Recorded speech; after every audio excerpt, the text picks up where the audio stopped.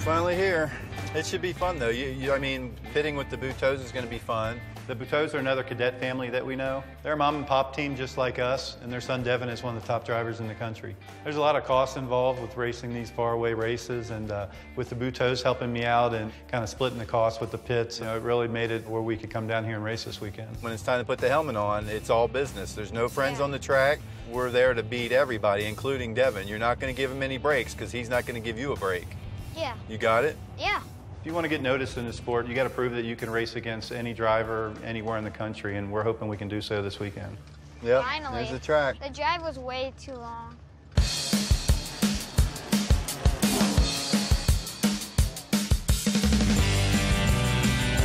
Today we are here in Ocala, Florida for the ROK Cup Series. And did I mention it's 105 degrees? Father God, you're killing me, huh? Give me a break.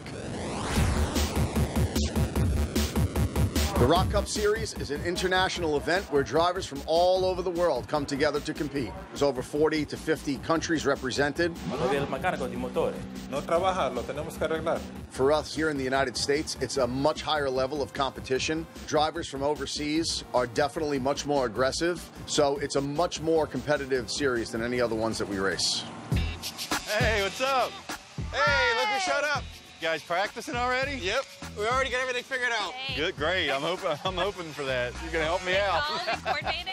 We're a little bit out of our element this weekend. Uh, we're racing against a lot of kids we don't know, and then the heat's just brutal. Got a good shady spot though. Uh, we got the best spot in the whole place. Yeah. It's sometimes tough doing this as a family team. You know, do everything yourself. It's not like being on a big team where they do a lot of stuff for you. We're fortunate that we can do what we do, but it'd be nice if we could compete with some of the big teams.